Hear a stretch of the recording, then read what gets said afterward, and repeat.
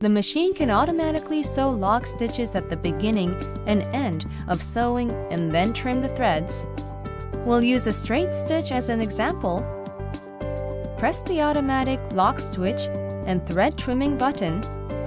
The automatic lock stitch and thread trimming icon will appear on the screen. Press the button again and it will disable the automatic lock stitch feature.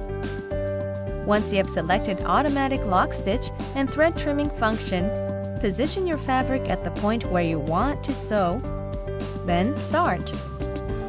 The machine will sew a few reverse stitches before starting to sew.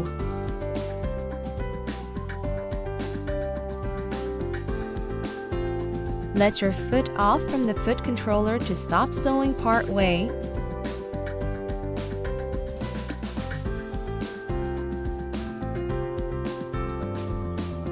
When you are finished sewing completely, press the reverse stitch button. The machine will sew a few reverse stitches, trim the thread, and then stop automatically. You can change the needle position of straight stitch by using the stitch width adjusting button located below the LCD screen.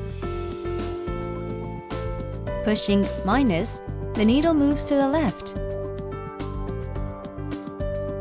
Pushing plus the needle to the right. You can also change the length of the stitch by using the stitch length adjusting buttons under the screen, pushing minus for a shorter stitch and pushing plus for a longer stitch.